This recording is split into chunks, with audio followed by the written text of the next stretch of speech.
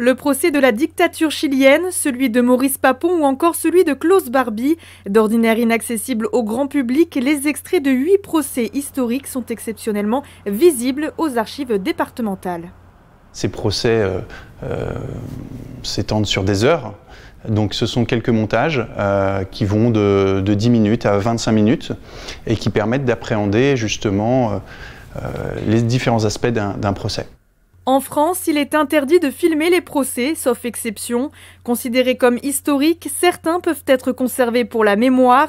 En juillet 1985, la loi Badinter autorise leur enregistrement audiovisuel sous conditions strictes. Nous avons à l'intérieur de ce procès euh, d'autres euh, personnes jugées et condamnées pour des faits de, collaboration. Donc c'est un procès, euh, ce sont des archives qui couvrent énormément d'aspects.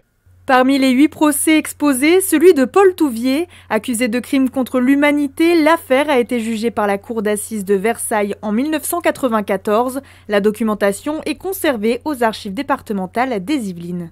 Ce sont des plans fixes. Euh, on ne peut pas, par exemple, quand euh, un, témoin ou euh, un avocat s'exprime, faire un contre-champ pour analyser la réaction du public, par exemple. Ça se veut le plus objectif possible. L'idée, c'est vraiment d'avoir une trace filmée de ce procès. 8 mètres linéaires, c'est l'ensemble de la procédure concernant Paul Touvier, un fonds conséquent d'archives matérialisé par ses 67 boîtes. À leur côté, des pièces à conviction sous scellées, elles proviennent de documents et d'objets personnels. Ça apporte une matérialité euh, voilà, à, cette enquête et à la procédure qui a été menée. Ce sont des pièces qui visent à apporter euh, un éclairage sur euh, la prétendue culpabilité effectivement de la personne mise en examen. L'exposition se termine le 22 avril 2022.